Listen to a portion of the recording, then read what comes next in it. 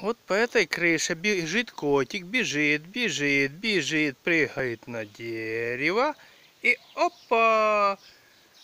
А здесь его ждет сюрприз. Петелечка. Петелечка. А петелечку поставил Владислав Крыжановский. Он сильно очень любит котов. И уничтожил их больше десятка. Живет он по улице Садовой, 17.